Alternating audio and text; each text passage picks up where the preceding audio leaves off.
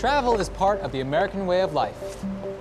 When we're on vacation, we keep an eye out for anything that looks out of place. Miss your bag. When we travel from city to city, we pay attention to our surroundings. Everyone plays a role in keeping our community safe. Whether you're traveling for business or pleasure, be aware of your surroundings. If you see something suspicious, say something to local authorities.